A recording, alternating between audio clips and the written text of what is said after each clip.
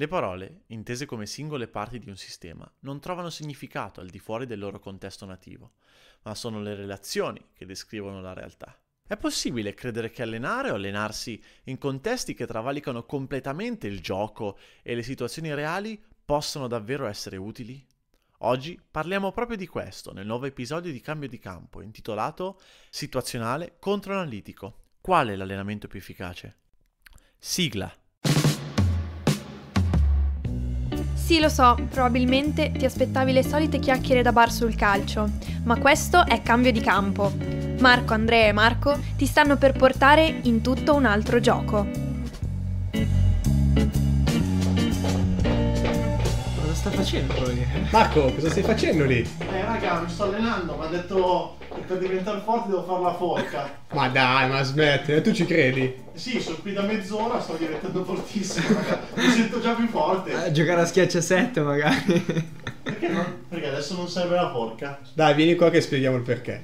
Vabbè, Raccontatemi perché eh, davvero io non so, non so più cosa dirvi. E non va bene il pressing a stormo.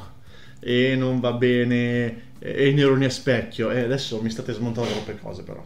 Eh, capì, eh, cosa dobbiamo fare? L'altro giorno ho visto un video che era bruttissimo e gente come te che fa la forca. Io non, non ci posso credere. Che poi pensa alla forca, io ho ancora in mente mio nonno quando zappava la terra. Quella è la forca quella giusta.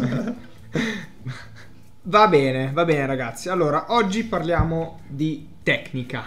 Cos'è la tecnica? Eh, la forca. La tecnica. Abbiamo appena detto, scusa, poverino, vogliamo smontarlo così.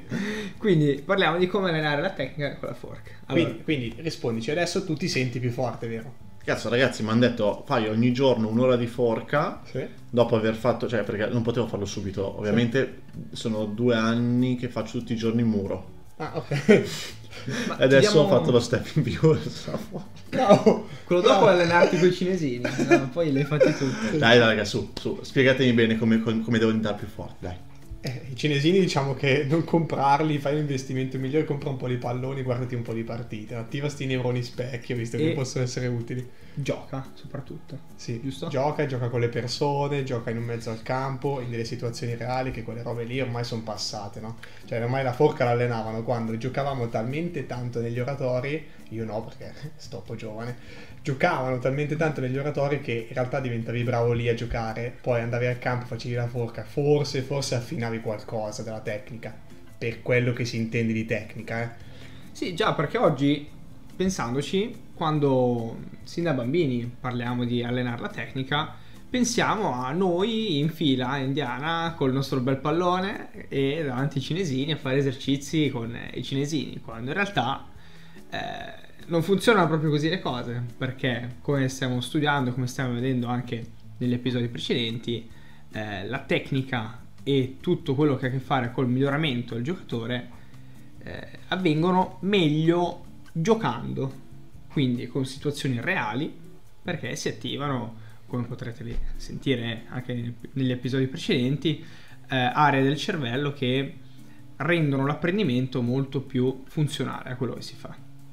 Ti stai riferendo ai neuroni a specchio, giusto? Bravissimo, hai studiato. Ho vedi? studiato, ho Hai studiato. studiato. Studiato però fa la forca, vabbè, sta stare. Ok, però ragazzi, adesso facciamo un passo indietro, parlando un attimo seriamente. Diciamo bene cos'è la tecnica, secondo me. Andre, aiutaci tu che sei il più tecnico dei tre. Beh, qui Grande Rizzolatti ci viene in aiuto tutti e tre in realtà, no? Eh, perché lui diceva, o meglio, nella neuroscienza si dice che la tecnica sia qualcosa che non esiste veramente. Cioè la tecnica è una specie di abilità motoria specifica rispetto al contesto e alla situazione che si crea. Ora quindi la tecnica cambia se giochi sul cemento, cambia se giochi sul prato, cambia se guidi la macchina di famiglia o se guidi la macchina per andare a fare una gara. Cioè total- è totalmente sempre diversa, no? E non è mai generale, quindi non esiste una tecnica allenabile in un modo che poi viene trasferita in, in una situazione, ma esiste una tecnica da allenare in ogni situazione. E quindi lì poi si va a scindere allenamento analitico e allenamento situazionale Ok.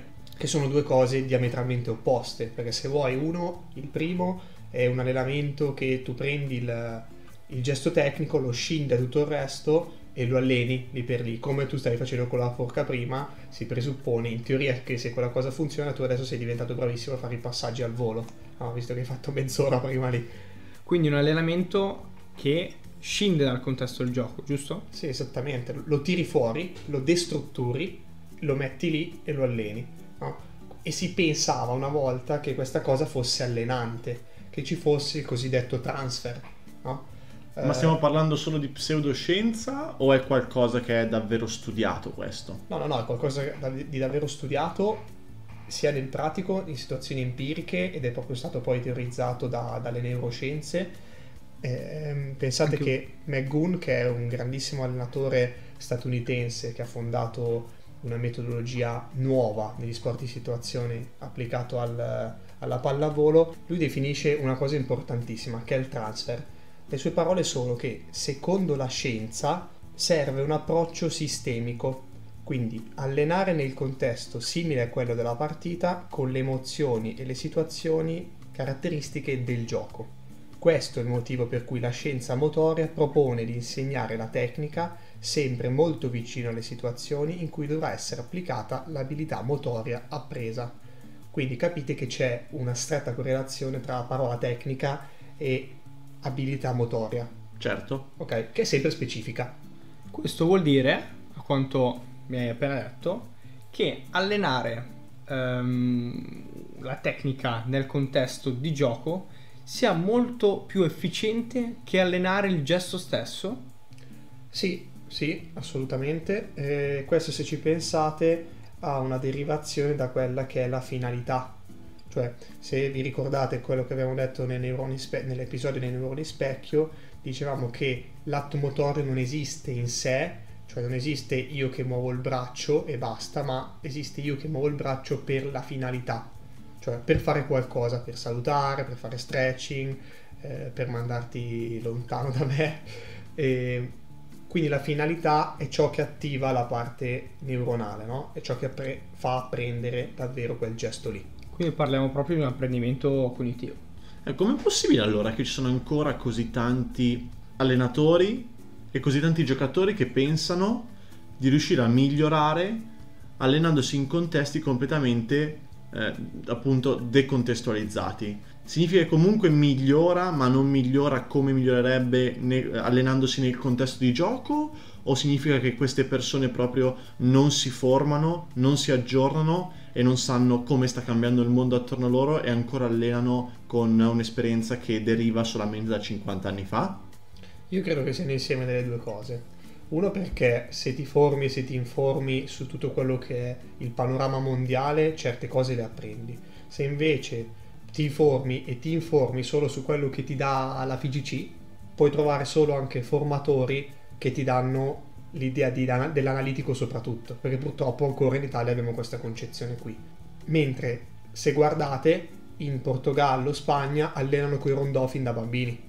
Cioè i rondò ormai ci siamo capiti, no? Che, che, potenzialità hanno per attivare quello che è il nostro processo cognitivo e la nostra per- percezione all'interno del gioco. Sì, tra l'altro rondò ne avevamo parlato nell'episodio, di, nell'episodio del processo cognitivo, giusto? Sì avevamo fatto anche la, adesso questo diciamo per te che ci stai ascoltando, avevamo fatto anche una risorsa di approfondimento che trovi nell'articolo del nostro sito web eh, www.cambiodicampo.com eh, praticamente lì puoi scaricarti l'ebook gratis dove parliamo del rondò anche. Ecco, tutto qua. Scusatemi l'intrusione marketing. Sì, ecco, ma riprendiamo proprio quel rondò che è nell'ultima pagina dell'articolo, no? Se guardate quell'ebook lì, lì c'è una serie di fare passaggi, muoversi, smarcamenti, che sono tutti gesti tecnici, che in realtà si allenano in maniera situazionale, no? in situazione nel gioco. Sei continuamente sottoposto a un gesto tecnico che è quello del trasmettere e ricevere palla, quindi lo stai allenando, però lo stai allenando non con uno davanti all'altro e ve lo fate 3000 volte, che oltre a far annoiare il bambino, e sfido chiunque a dirmi il contrario, perché può sorridere quanto vuole ma non vuol dire che si sta divertendo, non riesce a trasferire l'apprendimento nella situazione vera del gioco. E bisogna tenere presente che qui non si sta allenando bambini e ragazzi per fare i giocolieri. Infatti ragazzi a me viene da piangere perché io sto pensando ai miei dieci anni di scuola calcio dove mi hanno messo a dribblare un paletto di plastica piantato nel terreno. E adesso io pensandoci Ecco, la roba del paletto, secondo me comunque è una cosa che funziona, il problema è quanto funziona o quanto funziona meglio o peggio rispetto a qualcos'altro, perché anche riportandolo nel mondo dei comuni mortali, che non sono tutte queste cose, quindi nel mondo del lavoro, eh, per esempio nel mondo del marketing ci sono società di calcio, ci sono organizzazioni che ancora pensano di attirare bambini con i volantini. Cioè voi pensate nel 2019 andare ancora a distribuire volantini nei parcheggi. Ma chi li guarda? Ma chi li guarda? O prendere i cartelli stradali. Ma chi li guarda? Ragazzi, dobbiamo aggiornarci. E quindi è un modo, anche secondo me questo, di quello che vi dite voi, no? Cioè, alla fine bisogna fare gli investimenti. Investimento in tempo è uguale, uguale all'investimento di denaro. Quindi investire mezz'ora di allenamento, che poi alla fine mezz'ora di allenamento vuol dire cos'è, un sesto totale dell'allenamento in una settimana per qualcuno, Tantissimo, giusto? tantissimo. Perché, perché se ci pensi, sono, molte società fanno due allenamenti, soprattutto per i più piccoli, per cui 30 minuti di un allenamento di un'ora e mezza, di solito un'ora, un'ora e mezza, immagino adesso non mi ricordo quanto fate voi, è un investimento altissimo ogni settimana. E poi se ci pensi, magari sono allenatori che lo fanno anche tutte e due, mezz'ora in tutte e due le sessioni di allenamento, per cui, cioè, vuol dire proprio buttare via il tempo, come buttare via i soldi, usare i, eh, i, volantini, no? È la stessa identica cosa, secondo me. Sì, esattamente, qui stai ragionando in termini di efficienza, che poi è quel transfer che Megun citava, no? Più alta l'efficienza e più è utile l'allenamento che stiamo facendo. È chiaro che, ragazzi, la risorsa più grande che noi abbiamo e non abbiamo è il tempo. Cioè, si gioca a calcio per 20 anni e si impara il calcio per 20 anni. Dopo quei 20 anni lo puoi imparare ma non lo applichi più. Cioè, che senso ha perdere tempo a fare due allenamenti alla settimana di tecnica analitica quando abbiamo capito che non serve. E se ancora non abbiamo capito che non serve e se ancora non bastiamo noi per dirvi che non serve e magari non basteremo se avete le idee così ben fisse informatevi ma non informatevi solo su quello che è quello che serve a voi quelle che sono le vostre idee. Cominciate ad aprirvi a capire quali sono le idee degli altri cominciate a capire il perché lo fanno. Va bene, tante belle parole giuste, giustissime, però io non ho ancora capito come a un mio giocatore posso insegnare a non dribblare un paletto, ma a migliorare per esempio il dribbling. Allora, non c'è una ricetta assoluta. Questa è una cosa bellissima perché poi in realtà così tutti noi allenatori sperimentiamo, no? Però ci sono delle indicazioni che possiamo seguire che è farlo giocare. È chiaro che non è che prendi e lo butti dentro in campo.